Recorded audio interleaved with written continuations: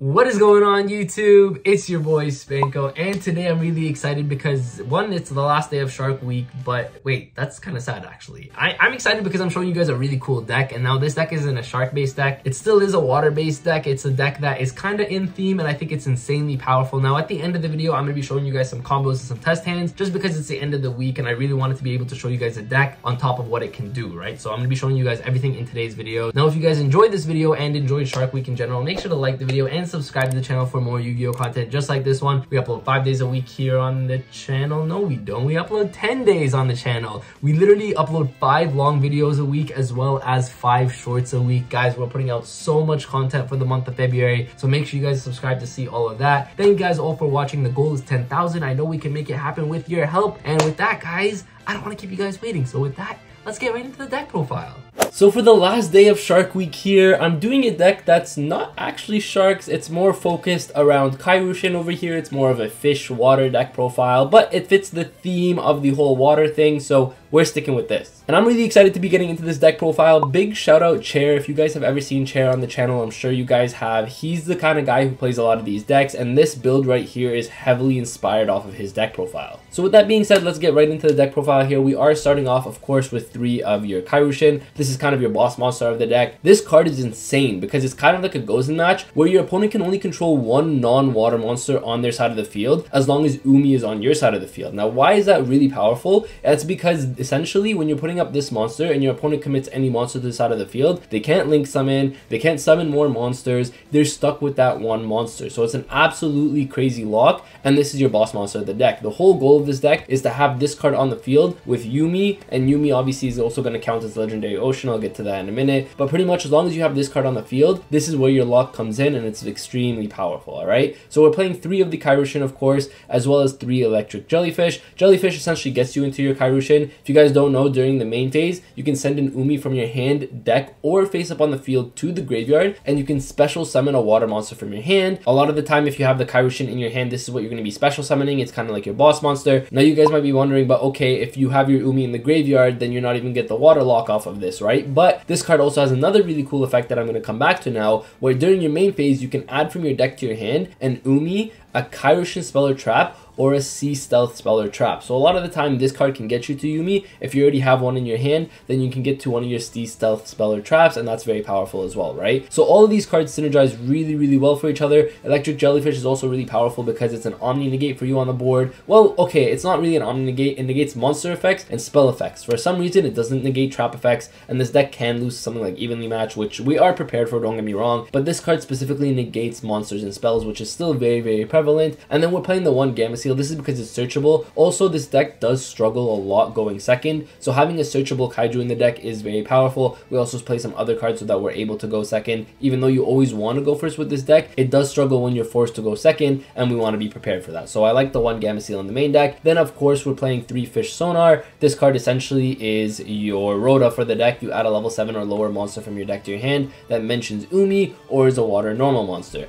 Now, we're not playing any water normal monsters, but a card that mentions Umi is your Kairyu-Shin. Another card that mentions Umi is your Electric Jellyfish. So it's pretty much your rota for whatever card you're missing in your combo. You have to be playing this at 3. And then we're playing 3 Legendary Ocean. This card is always treated as Umi when it's on the field. On top of that, it gives your water monsters a boost of 200 attack and defense. And it reduces the level of all water monsters in both players' hands and field by 1. So why that's really good is because your Kairyu-Shin in your hand is level 5. But if you have this on the board, it becomes level 4. And now you can just normal summon your Kairyu-Shin. So the really cool thing about this deck is it all just synergizes extremely well, which is really nice, and it's very, very consistent. You know, all of it searches each other. The fish sonar searches whatever you're missing. It's very, very consistent. It's very, very powerful. That's why we have to be playing the three, by the way, because the entire deck revolves around this field spell, and you need to be able to have the field spell on your side of the field. And then we're also playing one more field spell. We're playing the Necro Valley. Necro Valley is obviously really good into the Tearlaments matchup, and it's really important that you play this in today's format. And it's just another option for you if you don't have your legendary ocean on the field, and even if you don't, you're still going to be able to get get a lock on your opponent, especially against a Tearlament matchup, where if you have the Necro Valley on the field, they can't really play anyway. So that's why this card is really powerful. We're playing one Terraforming, of course, to either search your Legendary Ocean or your Necro Valley, and another card that searches your Legendary Ocean is Warrior of Atlantis. This card, you can just discard it from your hand to the graveyard and add a Legendary Ocean from your deck to your hand. So it gets you your Legendary Oceans, which is really, really powerful. It's pretty much like playing three Terraforming in your deck here, which is really nice. Terraforming, if you draw and you don't have access to this, you want to go to this, but if you do have access to this already, you always want to search the Necro Valley. I just wanted to give another option for this deck that's still really important and really powerful in today's metagame. So that's why we're playing the Necro Valley. We're playing the Terraformings essentially for the deck. And then we're playing one Sea Stealth attack, one Sea Stealth 2. So I'm going to explain these two in just a second here. But the reason you're playing one on one is because your Kairyu is always going to be able to search it, which is really nice. Now, Sea Stealth attack is an insanely powerful card. I'm going to read it out to you real quick. When this card is activated, you can activate a Yumi from your hand or your graveyard. Why that's really powerful is because your Electric Jellyfish is always going to be sending an Umi to the graveyard so that you can special summon your Kairyu And then this card can be searched by your Kairyu And then when you activate it on your opponent's turn, you can then play a Legendary Ocean to your side of the field, which is absolutely insane. But that's not even the best effect for this card. This card is really good in that sense, but it's also really good because at the start of the damage step, if a monster whose original level is 5 or higher, original, keep that in mind, and it battles your opponent's monster, that monster is now destroyed. So it always destroys your opponent's monster. It's your protection for your Kairyu over here. So you always want to keep this card on the board and you want to be able to protect it and Sea Stealth Attack lets you do that. And then on top of that, it even has protection for itself as well as your Legendary Ocean. You can banish a water monster you control until the end phase and then face up spells or traps you control cannot be destroyed by your opponent's card effects, which is really nice. So it's going to protect itself. It's going to protect your Legendary Ocean. It's going to protect your Sea Stealth 2, which I'm going to talk about just now. So there's a lot of protection built in with this card and it's absolutely insane. It's MVP of the deck, of course. And then we're playing the 1 Sea Stealth 2. This card is also really powerful because it becomes Yumi while it's on the field or in the graveyard, which is really nice because as long as it becomes Yumi on the field, it acts as another Umi for you. In the graveyard, that means you can also activate it from your Sea Stealth attack because it counts as an Umi in the graveyard, which is really nice. Your opponent cannot target water monsters you control with non-water monster effects. So that's really powerful because it's another form of protection for your Kairyu Do you guys see how powerful this deck can be? This is why this is your boss monster. The whole point of this deck is summoning this monster and being able to protect it in so many different ways. You have battle protection now with your Sea Stealth attack. You have targeting protection with your Sea Stealth 2, which is really, really powerful. And then we're playing the one Ice Barrier. This card, the main effect is not that powerful. The one that you're going to be using is the Graveyard effect. If this card is in the graveyard, you can banish it, and then you can send a level 5 or higher water monster you from your deck to the graveyard, and then add a water monster from your graveyard to your hand. So the really nice thing about this is you can send your Gameciel and then just add the Gameciel. So it searches your Gameciel, which is really, really powerful. It also searches your Jellyfish, it also searches your Kairyu So this card is essentially a searcher for you. And to get this to the graveyard, we're playing two Foolish Burial Goods. So this is kind of like your consistency engine. You kind of just have more consistency in this deck, or you just search a Gameciel, which is really, really nice. And then if you want to add even more consistency, I like playing three Pot of Prosperity, being able to add a Solemn Judgment or something that protects your monster or protects your combo is very, very powerful. So I really like three pros. And then we're playing an engine that Chair kind of gave to me and gave me this idea. And I was thinking it was really, really powerful and it makes a lot of sense. Keep in mind, Kairyu over here locks you and your opponent to controlling one non-water monster. So because all the monsters you're typically going to control are water, you can actually afford to play one non-water monster. What's the best one non-water monster this deck can put up? It's your Red Eyes Dark Dragoon. Why is this card so powerful? It's because it's an Omni Negate. It's setting up another form of disruption on your opponent's turn, but it's also setting up some kind of protection. So that's why I like playing the three Branded Fusion as well as one Albaz as well as one Goddess with the Third Eye. Having this branded package adds another layer of disruption, another layer of protection, which this deck otherwise didn't have. So I really like this package. I actually think it's really, really powerful. It's something I never considered before, but I think now it just makes a lot of sense to be playing this package, right? And then, like I said earlier, we do struggle a lot to go second. You don't really need your battle phase in this deck. It's a control-based deck. It's not an OTK-based deck. So we're playing the evenly matched. Evenly matched is really powerful. When you are forced to go second, it's one of those things that helps you clear a lot of boards, and it kind of helps you set up your own board, right? Because if you can evenly match a Tearlaments player, or really any deck that sets up a big board, right? If you are able to evenly match and break their board, then you can set up your own board with your Legendary Ocean, with your Kairyu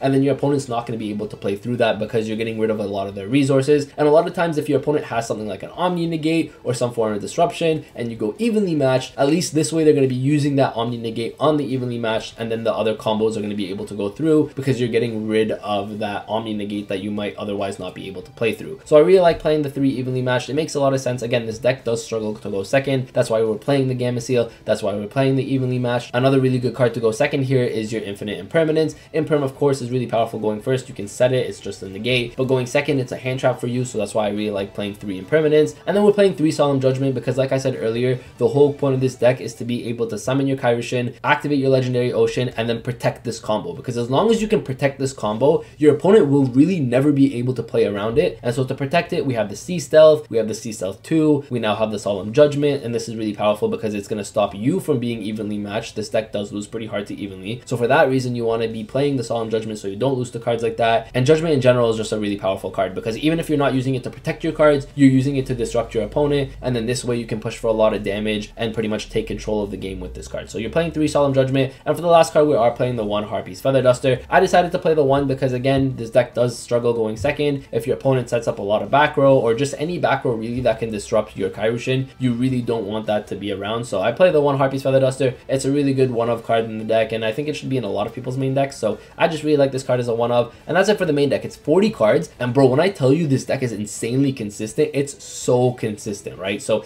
I really like this main deck. I don't think I'd actually change it up at all. I'm, I'm really a big fan of this, especially through testing. And so that's it for the main deck. I wouldn't change this up at all. Like I said, moving on to the extra deck, I'm going to go pretty quick because nothing in the extra deck is actually that important. There are cards you do sometimes go into, but generally you're not focused around your extra deck outside of maybe one or two cards. Otherwise, this extra deck is a lot of utility, right? So we're playing Mistar Boy, we're playing Eri the Water Charmer, we're playing the one Anemone, we're playing a Dweller, Bagooska, you have Bahamut Shark, totally awesome. We have the Stealth Kraken as well as the Kraken Spawn. Again, these are all just utility cards that you can sometimes go into. To be honest with you, depending on your side deck, if you're choosing to play something like Winter Cherries for the branded matchup, for the Sprite matchup, for the Kashtira matchup, then sometimes you can actually just play those Cherries targets in your extra deck, depending on what your side deck is, right? So keep that in mind. A lot of this is just utility. We're playing the one Grand Pulse over here as well as the one Zeus, just because we're playing so many Xyz monsters. So again, keep in mind, all of these cards are all just utility. If you can go into them, it's not bad, but most of the time, again, you're focused on these two, this combo, setting it up, and you're going to be winning the game. So yeah, this extra deck over here, all this can be changed depending on what you play. If you want to play Super Poly, that's another option for you, so that when you're forced to go second in games two, games three, you can be able to break boards, so you can play Super Poly targets. I'm just giving you guys so many different options. This extra deck here is kind of just the generic extra deck of what you would be playing in a vacuum, right? And then we're playing the two Albion, the one Mirror Jade, as well as the one Red Eyes Dark Dragoon. Again, Dragoon is the card that you're most of the time going to be going into when you're going into your Kairyu because at least this way you have another form of protection. But Mirror Jade is another option for you as well. Mirror Jade is also really powerful because sometimes if you draw the Albaz, and keep this in mind, right? Sometimes you will draw the brick. Even though these are the only two bricks in your decks, I would say, sometimes you will draw them, unfortunately. So for that reason, if you do draw the Albaz and you're playing against a deck that does have a lot of extra deck monsters on the side of the field, at least you can normal summon the Albaz and use it as a super poly to break your opponent's board and make Mirror Jade, right? So I like playing the one Mirror Jade as well as the one Dragoon. The reason we're playing two Albion is because when we do go into Mirror Jade hard with Branded Fusion, you need at least one more to send off of the Mirror Jade so you get a banish, right? So that's why I'm playing two Albion, one Mirror Jade, and one Dragoon. Outside of these four cards over here, I would say the rest of it all can be changed up depending on what your side deck looks like. But again, the main deck is the focus of this deck, and I think this deck is so powerful, and a lot of people won't really know what's coming.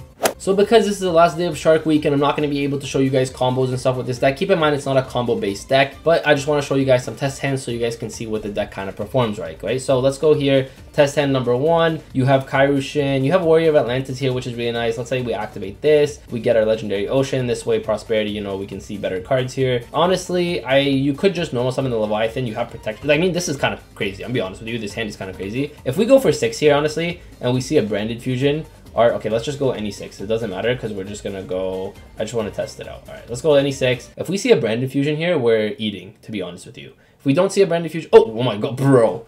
We saw the brand fusion. Okay, look, look at, look how crazy this board can be, right? Okay, so let's let's just start things off. Doesn't really matter what the order is here. But like this this is the kind of hands that you'll see with this deck, which is absolutely insane. Alright, so let's go Branded Fusion. Let's go into Albion. Let's use these two over here. So we'll go into Albion. So we'll activate the Albion effect to summon the Dragoon. We're gonna use the Albion as well as the Goddess over here to summon the Dragoon. Then what we can do is activate Legendary Ocean. And then we can normal summon our Kairyu And then now we have a Water Lock plus a Dragoon. And then we have Imperm as well as our Judgment. Let's just set our Judgment to protect our board, and then we need a card in our hand for Dragoon, right? Boom. This is just the most simplistic of boards. I actually forgot to activate this. Let's say you activate the Kairyu Kairyu now can get you into something like, ah, let's go Sea Stealth Attack. You know what? Why not? Because just in case they have some back row hate to break the Legendary Ocean and you don't want to use the negate, what you can do is just set this and now your opponent's turn. You have protection for your face-up field spells. You have battle protection for your Kairyu over here this this hand was crazy. Let's go let's go one more hand. All right. Here you have another really crazy hand because you have uh, your fish sonar. You're pretty much gonna be ending on a similar board. You're not gonna have the dragoon here, but what you will have is honestly you already opened this, so like I mean your hand's kind of this hand's kind of crazy. I'll be honest with you. So like let's go electric jellyfish here. Activate the jellyfish. We'll send this from our deck we'll be able to special summon our Kairyu-Shin. Keep in mind, you can actually summon Gameciel, right? We'll be able to summon this. We can go Kairyu-Shin effect.